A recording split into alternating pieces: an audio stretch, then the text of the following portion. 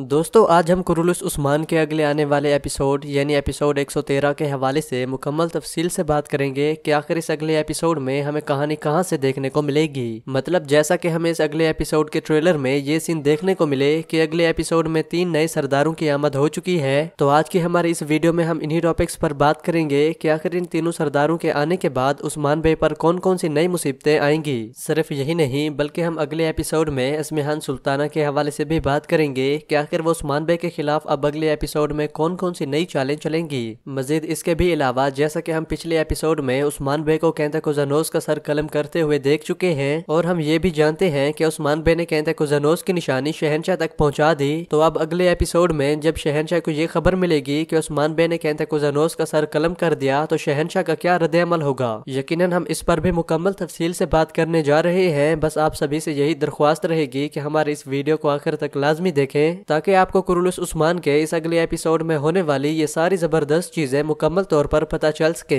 दोस्तों, सबसे पहले तो हम बात करेंगे इसमेहान सुल्ताना और उस्मान बे के हवाले से, और इन दोनों के साथ हम इन तीन सरदारों के हवाले से भी बात करेंगे कि आखिर इसमेहान सुल्ताना ने ये दावत क्यों रखी जिसमें उस्मान बे के साथ इन तीन बड़े सरदारों को भी बुलाया गया है। सबसे पहले तो आपका ये जानना बहुत ज़रूरी है कि जिस तरह हम पिछले एपिसोड में ये चीज़ देख चुके हैं कि जब पिछले एपिसोड में उस्मान बे ने कहता को जनोज का सर कलम करके इसमेहान सुल्ताना के पास एक तोहफे के तौर पर भेजा है तो बिल्कुल उसी जगह पर इसमेहान सुल्ताना को पहले तो उस्मान बे पर बहुत ही ज़्यादा गुस्सा आता है, और इसमेहान सुल्ताना के उस गुस्से की वजह भी एक नहीं, बल्कि दो से तीन वजूहत है। सबसे पहली वजह तो ये कि उस्मान बे ने इसमेहान सुल्ताना का एक बहुत बड़ा इतिहादी कत्ल किया, और सिर्फ़ यही नहीं, बल्कि बाकी सरदारों के सामने भी इसमेहान सुल्ताना की बेजती करी, जबकि दूसरी वजह यह होगी, जिस पर इसमेहान सुल्तान को उस्मान बे पर बहुत ज़्यादा गुस्सा आएगा, वो ये कि उस्मान बे ने सिर्फ़ इसमेहान सुल्तान का एक इतिहादी ही नहीं, बल्कि एक बाजंतीनी शहजादे को कत्ल किया है। यकीनन बाजंतीनी रियासत इस चीज़ का हिसाब न सिर्फ़ उस्मान बे से, बल्कि पूरी सलजोक रियासत से लेंगे। अगले एपिसोड के आने वाले इस ट्रेलर में, जो हमें उस्मान बे के साथ ये तीन बहुत बड़े सरदार देखने को मिले, और वो दावा जो इसमेहान सुल्ताना ने इन सभी को बुलाया है, इसकी वजह भी तकरीबन यही होगी की ये सारे बहुत बड़े तुर्क सरदार सलजोक रियासत के साथ मिलकर बाजंतीनी रियासत को हिसाब लेने से रोक लें।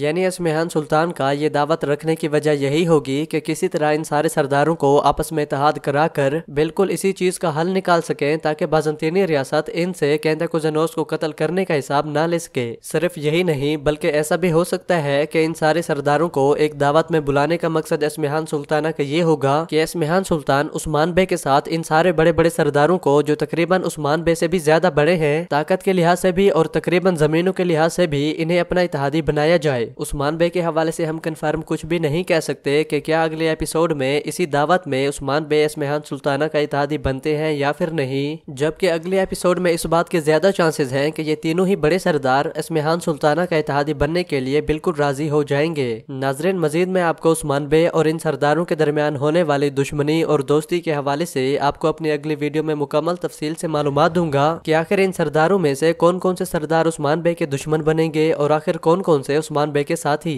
जबकि इसके अलावा अब अगर हम ये बात करें कि आखिर इस इतिहाद के होने के बाद आगे क्या होगा तो नाजरीन, अगले एपिसोड में तकरीबन हमें शहनशाह को भी दिखाया जाएगा और शहनशाह की आमद तकरीबन इस सीरीज़ में दोबारा से इस तरह से होगी कि शहनशाह को ये खबर मिल रही होगी कि उस्मान बे ने कहते कुजनोस को कत्ल कर दिया है। यकीनन, ये चीज़ जानने के बाद बाजंतीनी रियासत चुप नहीं बैठेगी और शहनशाह अपनी एक बहुत बड़ी फौज उस्मान बे के खिलाफ भेज देंगे। दोस्तों, आप बिल्कुल इसी चीज़ को मद्देनजर रखते हुए हम ये अंदाज़ा लगा सकते हैं कि अगले आने वाले एक या दो ही एपिसोड में हमें जंग बाफ्यूस, जिसका तारीख में बहुत बड़ा ज़िक्र किया गया, बिल्कुल वही जंग देखने को मिलेगी जो उस्मान बे और बाजंतीनी रियासत के दरमियान हुई थी। यकीनन जिस तरह से अभी शुरू में मैं आपको ये मालूम दे चुका हूँ कि इसमेहान सुल्तान के साथ ये तीनों सरदार तो मिल जाएँगे और फिर ऐसा भी हो सकता है कि इसमेहान सुल्तान इन तीनों सरदारों को अपना इतिहादी बनाकर शहनशाह के साथ जंग करने के लिए आगे ना बढ़े। मतलब इसमेहान सुल्तान ऐसा कर सकती है कि वो शहनशाह को एक खत भेजे या फिर किसी तरह शहनशाह को ये पैगाम भेजे कि कहता को जनोस यानी बाजंतीनी शहजादे को कत्ल करने में न तो सलजोक रियासत का हाथ है और न ही सलजोक रियासत के इतिहादियों का। तकरीबन ऐसा हो सकता है कि बिल्कुल यही चीज़ करके इसमेहान सुल्तान और उनके साथ ये सारे इतिहादी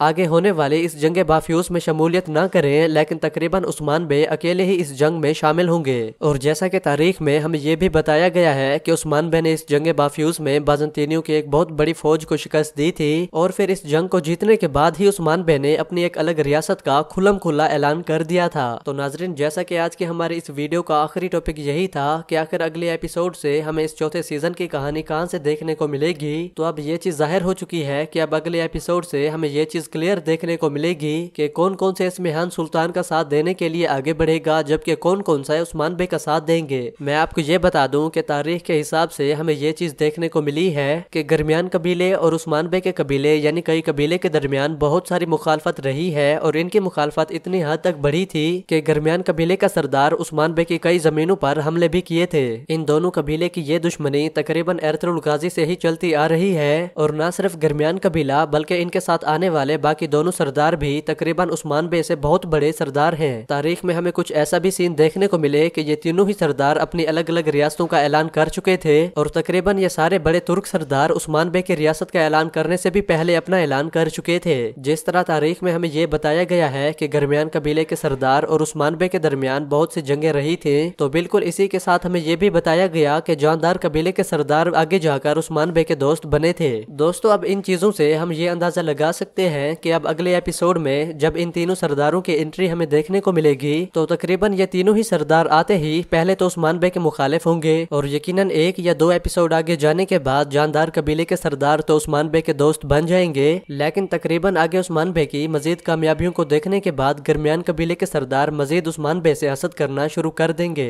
यकीनन उस्मान बे के खिलाफ इनका ये सारा हसद और इनकी दुश्मनी इतनी हद तक बढ़ जाएगी कि ये सरदार हमें आगे उस्मान बे पर हमले करते हुए भी देखने को मिलेंगे। यकीनन ऐसा भी हो सकता है कि ये गरमियान कबीले का सरदार आगे जाकर ओलफ के साथ इतिहाद कर ले और क्या पता ये दोनों ही नहीं, बल्कि इनके साथ इसमेहान सुल्तान मिलकर ये तीनों उस्मान बे पर आगे हमले करते रहे। दोस्तों, यकीनन अब हमें कुरुलुस उस्मान के इस चौथे सीज़न की कहानी अगले ही एपिसोड से बिल्कुल तब्दील और बहुत ज़बरदस्त देखने को मिलेगी और हम ये भी देखेंगे कि आखिर किस तरह से उस्मान बे अकेले इसमेहान सुल्तान गरमियान कबीले के इस नए सरदार और ओलफ वालों का मुकाबला करते हैं। अगर हम बात करें शहनशाह की तरफ़ से भेजी गई फौज और जंग बाफ्यूज के बारे में कि आखिर ये जंग बाफ्यूज कितने एपिसोड के बाद हमें देखने को मिल सकती है? तो दोस्तों, अब जिस तरह से इस पिछले एपिसोड से हमें इस चौथे सीज़न की कहानी थोड़ी सी तेज देखने को मिल रही है तो इसी से हम ये अंदाज़ा लगा सकते हैं कि अगले आने वाले चार या पाँच ही एपिसोड में हमें उस्मान बे के खिलाफ ये जंग बाफ्यूज देखने को मिलेगी। सिर्फ़ यही नहीं, बल्कि कुरुलस उस्मान के आगे आने वाले चार या पाँच एपिसोड में होने वाले जंग बाफ्यूज से पहले, ऐसा भी हो सकता है कि इस जंग से पहले हमें कोशिश की दोबारा से आमद देखने को मिल जाए। तो दोस्तों, बिल्कुल ऐसा भी मुमकिन हो सकता है कि बहुत जल्द हमें कोशिश को इस सीरीज़ में दोबारा से शामिल करा दिया जाए। यकीनन मेरे साथ आप भी इसी चीज़ का इंतज़ार कर रहे होंगे कि आखिर कब कोशिश को इस सीरीज़ में दोबारा से शामिल किया जाता है। मजीद इसके अलावा आज के हमारे इस वीडियो और मेरी आपको बताई गई ये सारी मालूम आपको कैसी लगी, प्लीज़ मुझे अपनी राय कमेंट सेक्शन में लाजमी से बताइएगा। और मेरे साथ आप में से कितने लोग इस सीरीज़ में दोबारा से कोशिश को देखना चाहते हैं, वो सारे इस कमेंट सेक्शन में हैश टैग कोशिश लेकर मुझे कमेंट कर दीजिएगा। जबकि इसके अलावा मजीद मालूम के साथ मिलते हैं हमारी अगली वीडियो में, तब तक के लिए अल्लाह हाफिज।